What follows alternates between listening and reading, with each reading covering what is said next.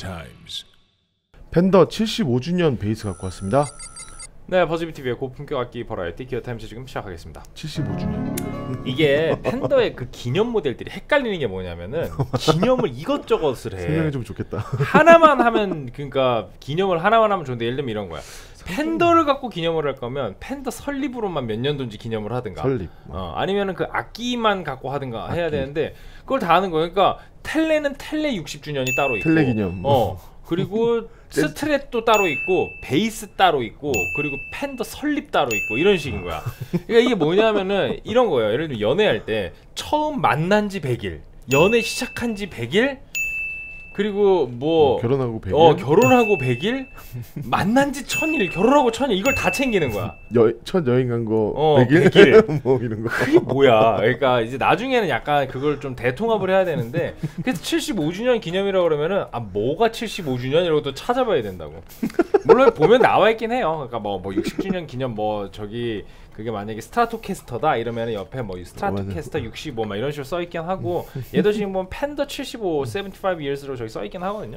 여기도 조금 써 있어요. 그쵸 저기 써 있어요. 팬더 하고 옆에 바로 밑에 75 years 이렇게 되어 있죠. 예. 그러니까 그런 것들을 보면 이제 해석은 할수 있는데 어쨌든 다양한 거를 기념을 하다 보니까 이게 뭘 기념하는 건지 여러분들이 알고 사야 된다.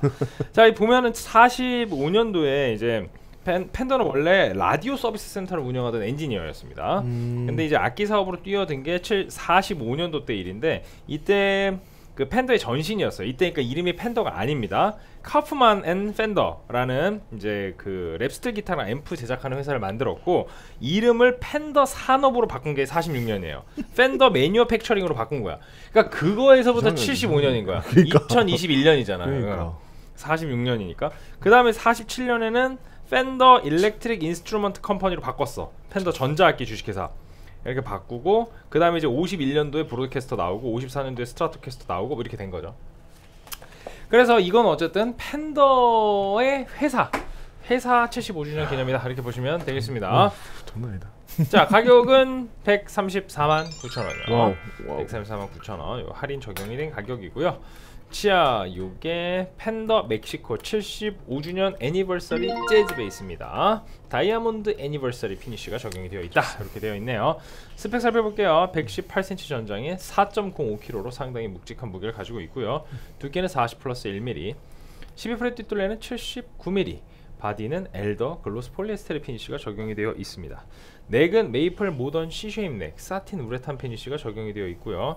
Standard open gear head machine입니다. 그리고 앞으로 돌아와서 너트는 synthetic bone nut 그리고 너트 너비는 38.1mm 지판은 메이플 통이죠? 네, 여기 올라가 있나요? 네, 통이에요 올- 통 아니요 올라가 있네요 메이플 올라가 지판입니다. 네, 지판입니다. 네 지판이고 뒤에 skunk line은 그럼 약간 디자인인가 보네요 디자인인 것 같습니다. 네, 그렇죠. 올라가 있어요. 음. 네, 그리고 지판 곡률 반지름은 음, 9.5인치 241mm, 스케일 길이는 34인치 864mm입니다. 20 medium jumbo fret에 vintage style 60년대 single coil jazz bass pickup 두 개 장착이 되어 있고요. one volume, two volume, 네 master tone 이렇게 구성이 되어 있습니다. four saddle standard bridge가 적용이 된 모델이고요. 바로 사운드 들어볼까요? 여러분들 잘 아시는 바로 그 소리 조합해서 듣겠습니다. 다 올리고 네 픽업 두 개입니다.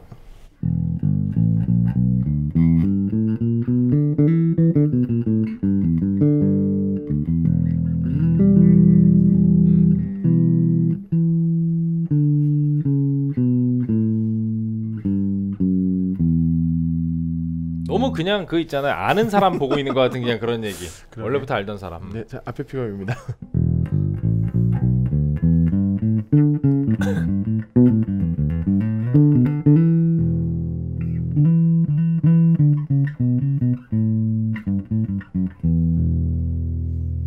네, 뒤에 픽업입니다.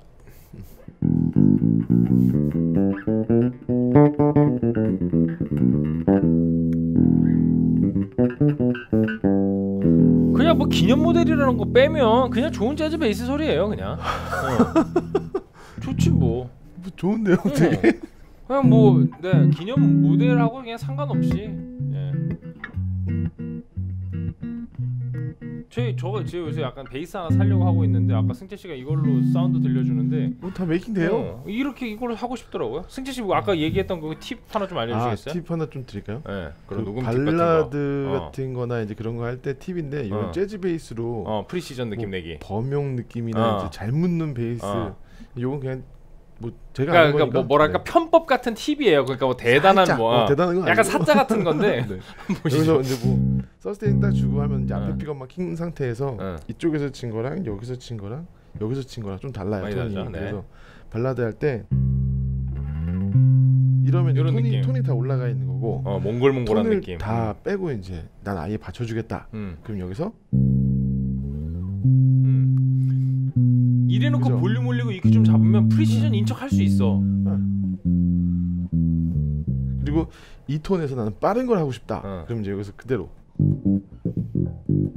약간 뒤에서 연주해주는. 어. 이제 이 포인트마다 조금 달라요 그래서 어.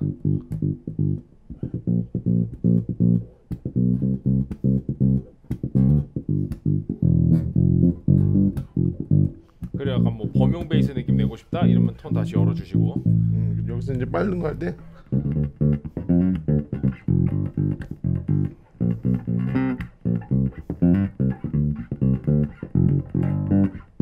그렇습니다. 여기서 치면 끝 약간 사짜 같은 그죠? 레코딩 팁. 네, 이게 그 중간에서 네. 치는 이 몽글몽글한 발라드 사운드 이런 게 활용하기 좋죠. 네, 되게 좋아요 그렇습니다. 자 이렇게 재밌는 또 팁도 배워봤고요. 왜냐하면 사운드가 이게 다기 때문에. 그죠? 네 끝났어요. 슬랩 들어볼게요.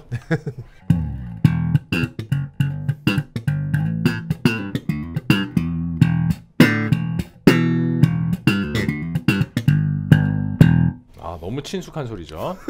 자 반주 묻혀서 들어보겠습니다.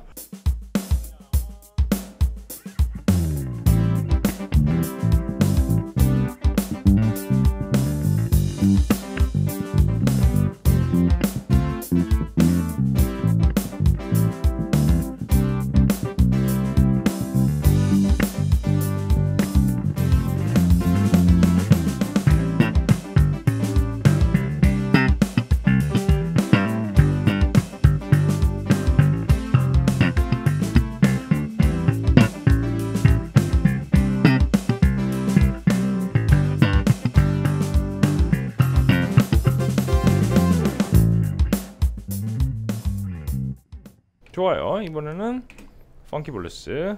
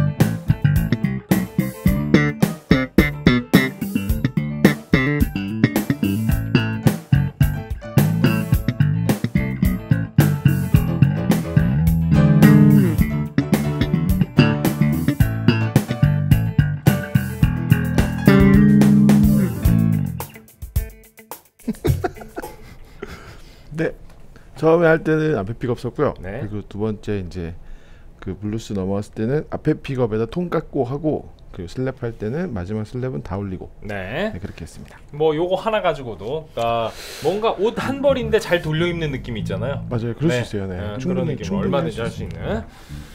자 이렇게 anniversary 재즈 베이스 음. 잘 들어봤고요. 이제 최근에 했었던 그 점수를 좀 보면서 저희가 좀 네. 이거를 어떤 식으로 SQUAD를 반영을 해야 될지 보면은 지금 멕시코의 Vintera가 좋은 점수들을 받았는데 Vintera, 오, 기억나네, 9.5, 10.0, 9.5, 9.5 이렇게 받았어요. 그 기억나네. Vintera 50 Precision이 이게 150 가격이 150이었고 하이엔드 못지않은 Vintera 핵볼닥 Precision 9.5 10.0 그리고 60이 160이었는데 Vintera 60 아주 좋아요. 기타 이어 베이스도 성공입니다. 9.5 9.5 그리고 70 재즈 베이스 170이었고 Vintera 70 좋아요. 구김살 없는 펜더 9.5 9.0 그리고 예전에 했었던 펜더 멕시코의 Deluxe Active 재즈 베이스 Pau Ferro 이게 133만 6천 원 가격이 오늘이랑 제일 비슷하죠 음. 얘는 기본에 충실한 베이스에서 9.0, 8.5 이런 점수들을 받았었고요. 그리고 최근에 했었던 SQUAD를 살펴보면은 이제 음. 저거 박서 얼마 전에 일펜 음. 네, 팬더 제펜의 박서 시리즈 Precision 베이스를 190만 원짜리를 했었는데 이게 76.5점이 나왔습니다 평균. 음. 어 사운드는 29, 28 이 정도 사운드 점수가 나왔고요. 그리고 재즈 이거 American Professional II 재즈 베이스 5현이 이게 오히려 보면은 사운드 점수가 Boxer보다 미묘하게 나아져 27, 28 뭐 이렇게 나온다고. 그러니까 가, 가격대가 올라간다고 무조건 사운드 점수가 잘 나오는 그죠. 건 아니에요 보면 지금. 이거는 지금 평균 점수가 72.5. 물론 이때 우리가 좀 점수가 좀 짤 때긴 해요. 초, 초반이라 되게 초반이에요. 조심스러울. 때였어가지고 조금 더 손해를 본 것도 있습니다만 어쨌든 지금 기본적으로 SQUAD를 돌렸을 때 어, 1패는 지금 70점대 중반, 미패는 70점대 초중반. 아직 맥패는 어떻게 나올지 잘 모르겠습니다. 자, 한번 점수 드려볼게요. 네. 한 줄평 먼저 드리겠습니다. 75년이 지나도 표준 모델. 알겠습니다. 저는 생일이든 아니든 좋은 친구 이렇게 드리겠습니다. 표준 모델이죠 뭐 베이스 톤은 뭐.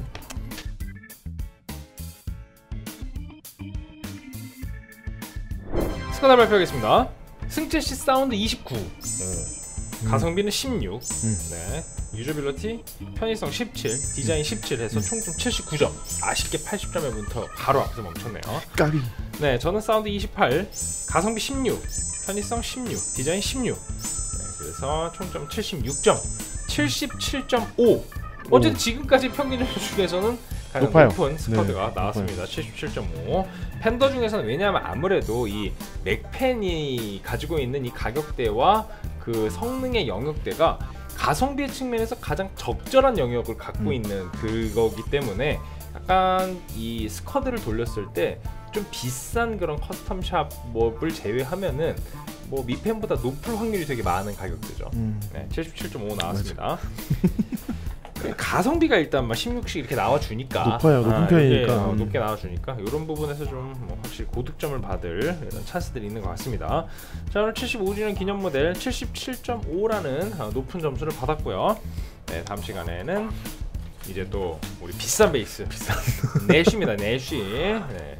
relic계 명가죠. 네, 음. 내쉬의 어, medium aged 343만 원짜리, 367만 원짜리 두 개 리뷰를 해보도록 하겠습니다. 어떤 소리일까? 자, 오늘 패널은 여기까지입니다. 다음 시간에 뵙겠습니다. 유튜브 구독과 좋아요는 저에게 큰 힘이 됩니다. 기어 타임스. 베이스 타임스.